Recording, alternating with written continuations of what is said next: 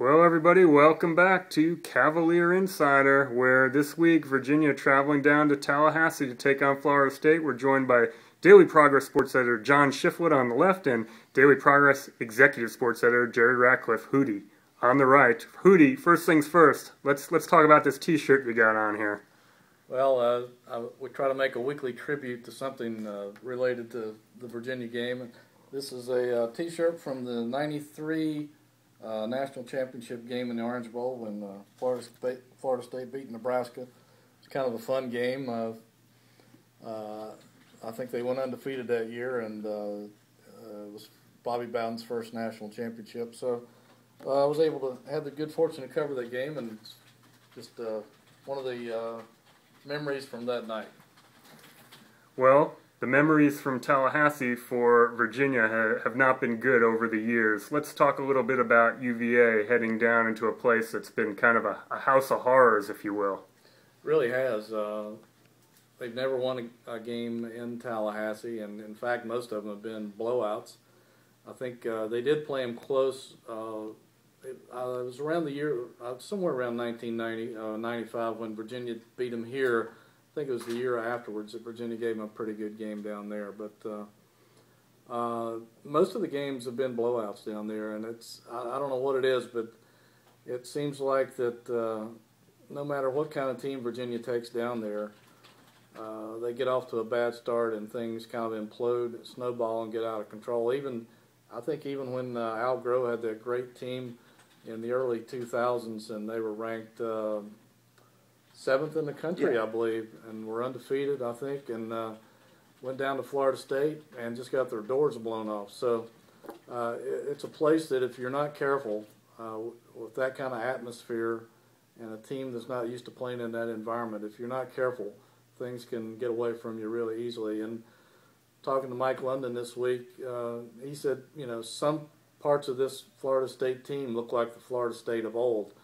That's not necessarily Yeah. good news for Virginia, particularly uh, Florida State's defense, and uh, and they're playing well. They won five games in a row, and uh, they're they're peaking at the right time. It appears. And you mentioned Florida's defense, John. That their rushing defense is, is pretty stout, and that's probably going to be, I, I would take it, one of the key matchups to look at. Their defense versus Virginia's what what has been a pretty good running game.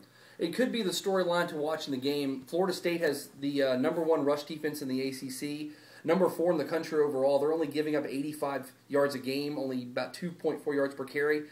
Uh, we all know that's Virginia's strength. They take pride in running the football behind that big offensive line and the, the three headed monster at running back.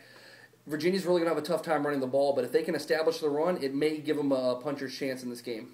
And that secondary too will be, I guess, that's something to watch too. UVA's uh, secondary looked a little shaky against Duke at times last week, and as we know, FSU with all those receivers who um, they could kind of, like you were saying before, throw it around everywhere. That that's going to be something to watch. Yeah, the secondary's been tested a lot lately. Um, Duke got uh, beat him deep a couple times. Um, NC State beat him deep. Miami, Maryland.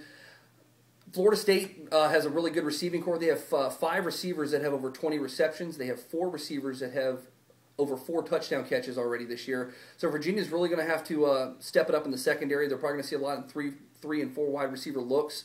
So their secondary is really going to have to uh, buckle down. They're probably going to have some man coverages, and they're going to have to really uh, slow them down if they're going to have a chance to win this ball game on Saturday.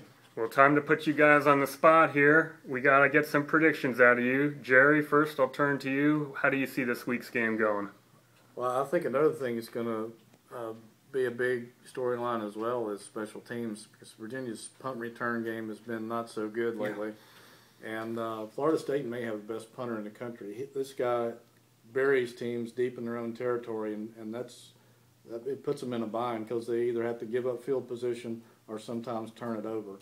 And uh, the way Virginia's been doing it, they might want to put Perry Jones back there this week instead of uh, Terrell, the freshman. I heard they were going to put you back there. Well, I, you know, I don't know about that, but uh, I think that could be one of the keys to the game. And Florida State has a uh, also a dynamic kickoff return guy, so and a punt return guy. So it, you know, special teams could be a big part of this. But EJ Manuel's playing well. I think if he hadn't got hurt early in the season, Florida State would still be ranked really high in polls.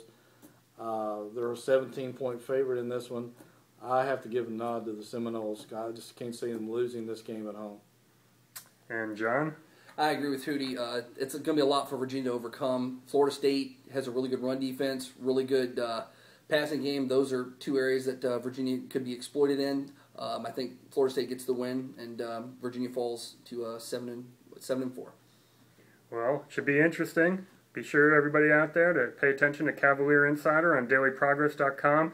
All the updates, all the reports. Jerry and Jay Jenkins down in Tallahassee. Guys, thanks for joining us. See you next week.